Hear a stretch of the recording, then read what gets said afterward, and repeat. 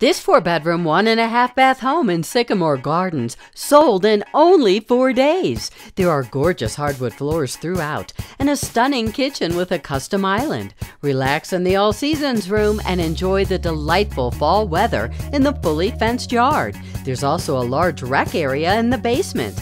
Looking for your dream home? Chelle Concha would love to help you out. Call today.